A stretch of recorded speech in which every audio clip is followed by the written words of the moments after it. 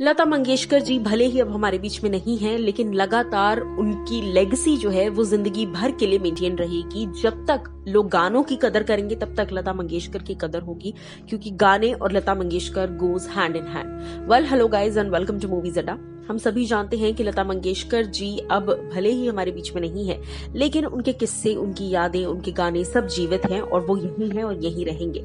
ऐसे में मैं आपको बता दूँ कि हाल ही में एक बात काफ़ी ज़्यादा सामने आ रही है कि आखिर क्यों कभी भी लता मंगेशकर जी ने शादी नहीं की? क्यों कई बार चाहते हुए भी वो शादी के बंधन में नहीं बन पाई? वेल इस बारे में खुद ही एक इंटरव्यू में लता मंगेशकर जी ने रिवील किया था तो चलिए आज आपको बताती हूँ। अपने पाँच भाई बहनों में लता मंगेशकर जी सबसे बड़ी है। उनके पिता श्री दीनानाथ मंगेशकर के देहांत के बाद घर की सारी जिम्मेदारियाँ लता मंगेशकर जी के कंधों पर आ गई, घर की पूरी की पूरी ज़िम्मेदारी। ऐसे में सबसे बड़ी बहन होने के नाते और तीन और बहनें और एक भाई होने के नाते लता मंगेशकर जी ने चाहकर भी कभी शादी नहीं की, क्योंकि सारे भाई बहनों की ज़िम्मेदारी कहीं ना कहीं उनके कंधों पर थी। और जब तक उन्हें लगा कि अब उनके सारे भाई बहन इंडिपेंडेंट हो चुके हैं। अब वो अपने भाई बहनों को उनके हाल पर छोड़ सकती हैं।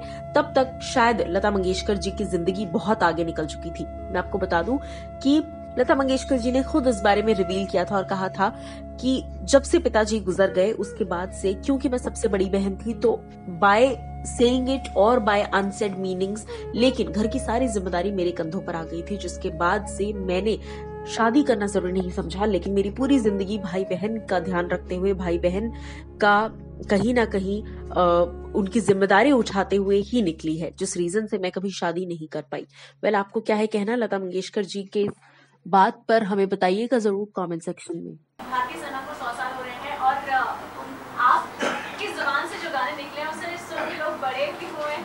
आप भावनाओं में भी कभी हंसे कभी रोए हैं। जब आज आप इस मकाम पे साम्राज्य कहलाते हैं क्या याद आता है पहली बार जब कहा जाता है कि सौ साल इंडियन सिनेमा के या सौ साल भारतीय सिनेमा के बहुत बड़ा सवाल लेकिन अगर कुछ कहेंगे तो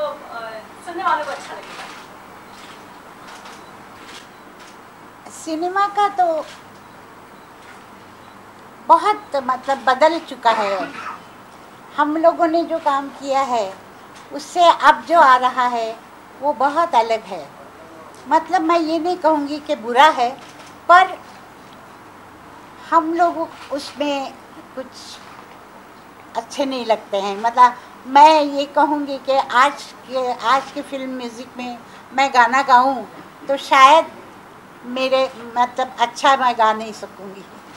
मतलब इतना चेंज हुआ है, इसमें मैं किसी को दोष नहीं देती हूँ। पर ये जैसे दुनिया की रीत है, हर चीज़ बदलती है, दुनिया गोल है, वो तो यहाँ से जाती है तो यहाँ आती है। तो उसका कोई इलाज नहीं।